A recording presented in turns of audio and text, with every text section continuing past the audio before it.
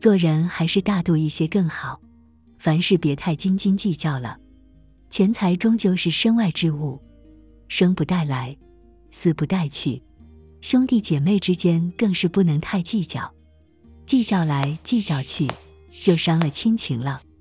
人生在世，一辈子很快的，理应要珍惜亲情。在照顾老人的问题上，兄弟姐妹要有钱出钱，有力出力，彼此都要自觉。法律明确规定，子女是有赡养父母的义务的，所以为人子女者要承担起责任来。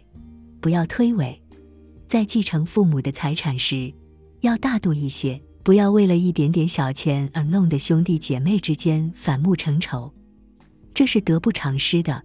可有些家庭却还是会为了财产而吵得鸡犬不宁，和阿姨家便是如此。下面我们来听听他们家的故事，来自和阿姨的自述。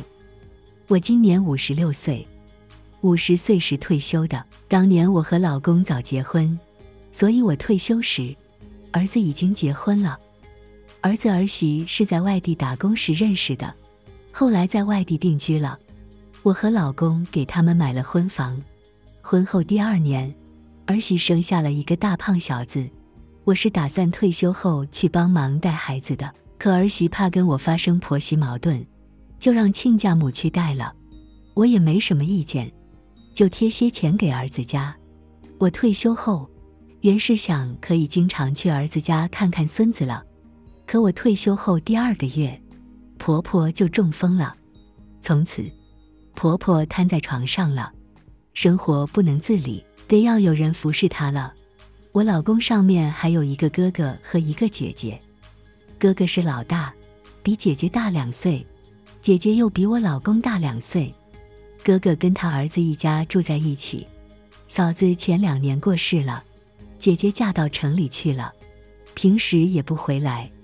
按我们这里的老规矩，女儿是嫁出去的，不用给娘家的父母养老送终的，所以婆婆的事不用大姑姐负担的。我们就去跟大哥商量，大哥说他是一个人了，靠着儿子家在生活，没法管老妈了。我老公说。那就由我们家照顾婆婆吧，反正我退休了，也不用去带孩子。我当时心里有点不愿意，明明是兄弟两家共同的事，怎么让我们一家负担？这不公平。婆婆也觉得不能这么办，但她也理解大儿子的苦楚，就说这样吧，谁家照顾她，她就把老房子留给谁家，也就是我和老公负责照顾婆婆。那婆婆百年后，她的老房子就归我们家。大摆子一口答应了，还说这主意好。大姑姐听说后，没发表任何意见。她说娘家的事她不管。于是，婆婆就住到我们家了。她的老房子闲置在那里，我开始每天照顾婆婆了，给她端茶送水，倒屎倒尿的。我原本以为照顾一个老人。总比上班轻松吧？可实践下来，发现比上班累多了。好在婆婆不是很挑剔的人，我们婆媳俩合作的还可以。婆婆在我们家住了一年后，我觉得她的老房子闲着也是闲着，既然说好给我们家了，那我就出租掉吧。我也不贪那些租金，租金用来改善婆婆的生活，给她多买些好吃的。用药时也多用些好药，她就少受些罪。在我照顾婆婆的五年时间里，大摆子很少来看婆婆，倒也没说我什么。大姑姐有时要来看婆婆的，但从没见她买些什么东西来，每次都是空空手来的。来后还要嫌我照顾的不好，挑三拣四的。我很反感大姑姐，她自己什么都不做。站着说话不腰疼，就挑别人的毛病。后来，我老公把大姑姐骂了一顿，说她既然嫌我们照顾的不好，那她就把老妈背她家去照顾。大姑姐很生气，认为是我在挑拨，才导致她弟弟发火的。从那之后，大姑姐就对我意见很大，总在外面说我的坏话，好像我是个十恶不赦的坏儿媳一样。五年后，婆婆去世了，临终时她又提到了老房子，重申了一遍是给小儿子家的。婆婆还看着我，很真诚地说：“孩子，这几年辛苦你了，谢谢。”说完后，婆婆闭上了眼睛，再也没有睁开过。我服侍了她五年，虽然很辛苦，但我们婆媳感情一直很好，这份情谊我们婆媳都记在心里。所以，虽然婆婆的去世，我们都已经有心理准备了。但我还是挺难过的。办完婆婆的丧事，我和老公以为没啥事了，我打算去儿子家看看孙子了。谁知，大伯子和大姑姐突然找上门来，说要和我们平分婆婆的那幢老房子。这让我和老公很意外。